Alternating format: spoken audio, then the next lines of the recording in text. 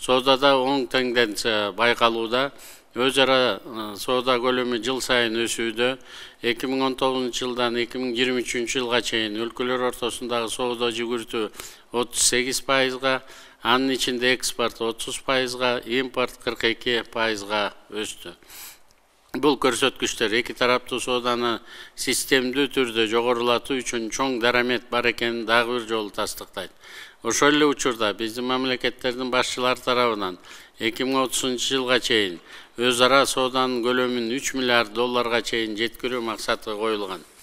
Аталган максатты ишке ашыруу үчүн биз өнөр жай кооперациясында жана жаңы мүмкүнчүлүктөрдү ачууга сооданын альтернативдүү формаларын анын ичинде электрондук коммерцияны түзүүгө өз ара пайдалуу инвестициялык долбоорлорду ишке киргизүүгө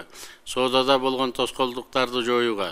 товарлардын эркин өтүүсүн толук камсыздоо жана кыргыз казак чек арасында туруктуу кырдаалды сактоого тийишпиз